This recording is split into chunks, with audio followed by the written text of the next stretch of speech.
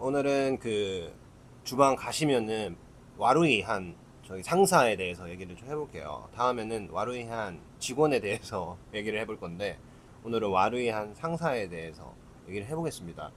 어, 저 제가 만난 제가 경험했던 거를 토대로 얘기할 거고 아마 제가 주변에 얘기를 좀 해보니까 공감을 좀 하시더라고요. 그러니까 저는 일단 다이닝, 파인 다이닝 뭐 이런 호텔 이런 데서 일을 한 적이 없고 다 개인 가게에서 일을 했고 저랑 부딪히는 사람들은 다 사장 막 그랬습니다. 사장, 실장, 부장 막 이런 사람들이랑 많이 부딪혔었고 저도 뭐 지금은 사회화가 많이 됐는데 그때는 이제 저도 애니멀이었어 가지고 그래서 예, 뭐 쉽, 쉽, 쉽진 않았다. 어, 실, 실력 없는데 곤조만 있는 그런 사람이었다. 어, 그거에 대해서 얘기를 해보겠습니다. 어쨌든 저도 이제 지금 생각해도 좀 별로인 사람들이 있었는데 일단 제일 중요한 거 돈 안 주는 사장.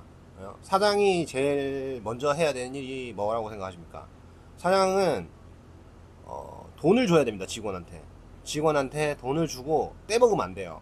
근데 떼먹었다. 그 나름 이해를 하려고 했어요. 저도 그때. 근데 그 만약에 이랬다면 이런 if 이거를 좀 생각을 해보면 만약에 아 누구야 복동아 어 우리가 지금 가게가 사정이 너무 안 좋다. 그래가지고 내가 너의 월급을 지금 당장 다 줄 순 없고 조금만 회복이 되면은 어 내가 지금은 요 정도밖에 못 주는데 조금만 회복이 되면은 어 이렇게 좀 해줄게. 어, 미안하다. 이렇게 했으면은 이해라도 마음적으로 이해라도 했을 것 같아요. 근데 아무 말이 없어. 무시. 돈 주세요 하면은 월급 언제 들어오나요 하면은 무시. 계속 쌩까 그 같은 업장에서 일을 안 했거든요 계속 쌩까 쌩까면 이제 빡이 도는 거죠 그 빡이 돌고 있는 와중에 막 시금을 막 5만 원이면 5만 원, 10만 원이면 10만 원 이렇게 해줘야 되는데 34,242원 막 이런 식으로 입금을 해줘. 그러면 내가 빡이 더 돌지. 그래가지고 이, 뭐 나랑 장난치는 건가 이런 생각이 드는 거예요 그때는. 막 내가 막 장사하려고 준비해 놓은 거를 막 와가지고 세벼가 내가 밑작업 해 놓은 걸 다 세벼가는 거예요. 뭐 자기네들은 막 장사가 더 되니 안 되니 하면서 그게 영업장이 두 개였거든 그 사람이. 장사가 되니 안 되니 하면서 자기가 할, 할 거를 내한테 던, 던진 다음에 다 세벼가. 아 그래 그, 그, 그 럴 수 있지. 근데 그때는 내가 빡이 돌아 있잖아요. 음, 생각을 잠깐 하다가 이제 말씀을 드렸죠. 어, 이거 언제 주냐? 또 말을 안 해. 어, 말을 안 해. 어이가 없네 진짜. 말을 안 해. 그래서 가가지고 아 그럼 저 그냥 고소하겠습니다. 노동 노동부 가서 저 고소 넣, 넣을게요. 그랬더니 그렇게 하래. 그러고 나서 한뭐 어차피 노동부 넣는 거니까 오케이 하고 바로 면접 면접 자리 알아보고 면접을 또 빨리 구했어요. 직장을 빨리 구해가지고 그러니까 20대 후반에는 잘 구해진다니까. 그러니까 직장 빨리 구해가지고 신규 매장에 이제 해놓고 사장한테 가서 얘기했죠. 그만할래요. 언제부터? 지금부터. 그러니까 돈을 제때 줬으면 내가 어, 돈안 주는 사장, 그런 상사를 만날 수도 있고 이럴 때는 뭐 할 게 없습니다. 그냥 노동부 가시고 어, 신고하시고 뭐 이것저것 서류들 내거 내시고 그다음에 노동부 가시면은 뭐 인터넷 보면은 뭐 불친절하니 뭐 어쩌니 저쩌니 하는데 어, 저는 굉장히 친절하게 응대를 잘 해주셨다. 그래가지고 고소를 했고 제가 돈은 다 받았습니다. 다 받고 고소장은 어 끝까지 넣어버려가지고 어 뭐 벌금을 내셨겠죠. 그 다음에 이제 또 안에 내부 정치질만 하는 사람이 있어요. 그러니까 보통은 분류가 좀 되는데 보통은 실력이 없는 사람들이 정치질을 많이 합니다. 그러니까 특히나 나보다 잘하는 밑에 직원을 자꾸 당구려고 해요.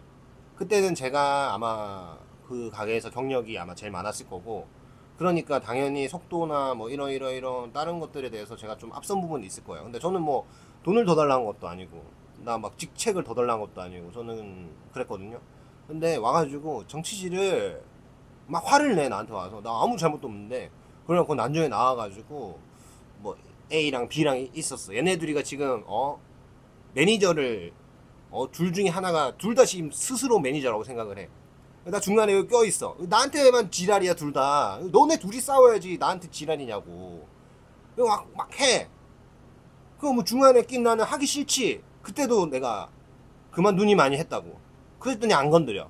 전 진짜로 그만둘 생각이었어. 이게, 이게 떠보려고 한 게 아니고, 아니, 누구 둘이 싸워. 나가가지고 사장이랑 세 명에서 쇼부를 치세요. 누가 위인지 아래인지. 그왜 나, 나한테 그래. 난 주방 보조야, 그때도. 난 주방 보조였다고. 경력을 속이긴 했어. 하지만 주방 보조였다고. 그럼 왜 나한테 지랄이야, 와가지고. 그 지그들이 강함을 나보다 아랫 사람으로서 이제 자꾸 뭘 하려고 하는 거예요, 둘이서. 이, 이게 결국에는 누가 한 게 팽팽하긴 했어요, 나중에.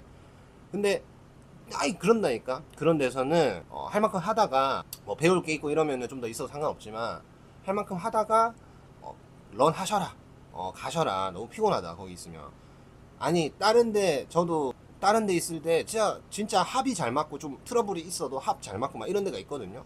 근데 그렇게 윗대가리가 그러니까 사장이 아는 사람이라는 이유만으로 윗대가리를 차는 새끼들은 어? 그렇게 정치질을 해 어 왜 그래? 아니 왜 누구 둘이 싸울 거를 나한테 지랄해. 그리고 나는 욕심이 없어. 매니저 안 할 거야.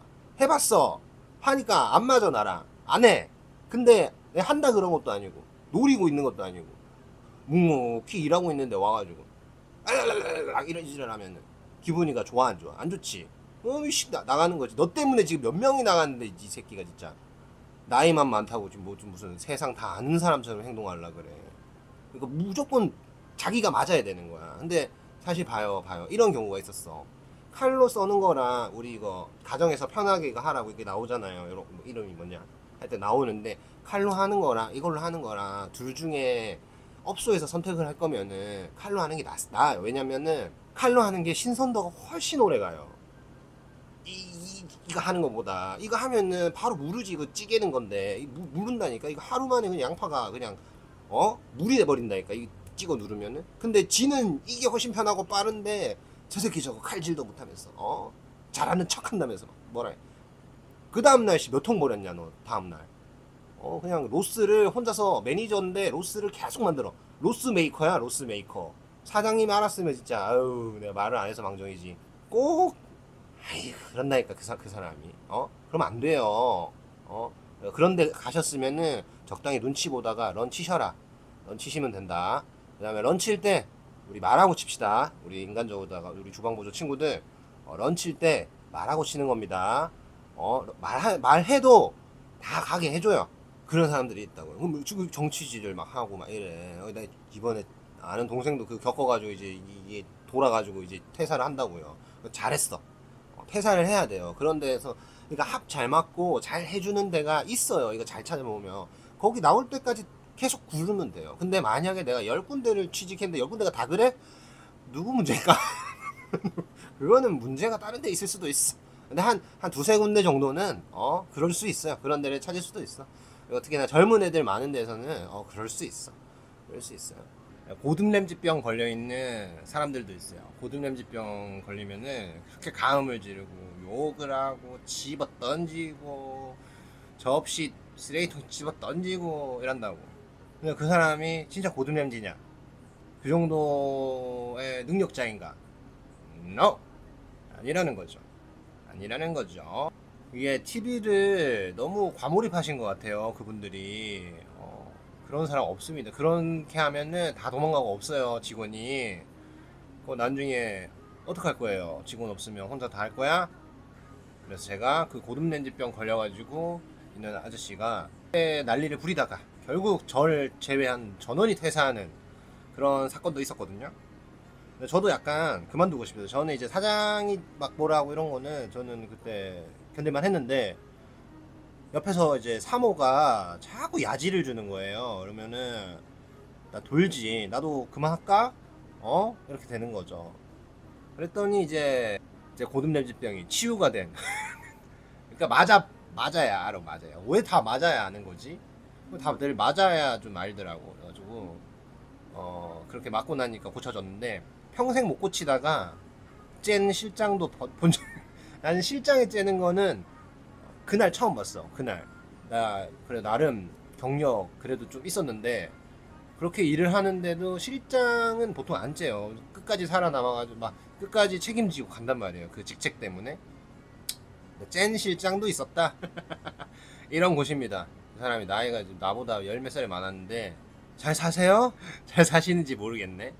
어쨌든 그런 경우도 있습니다. 그래서 우리 조목모주 친구들 어, 본인한테 완전히 맞는 곳을 들어가기 힘듭니다. 예, 근데 어느 정도는 좀 감수하면서 있- 있어야 되고 좀 여러 사람이 모이는 곳이기 때문에 이런저런 사람들이 많습니다.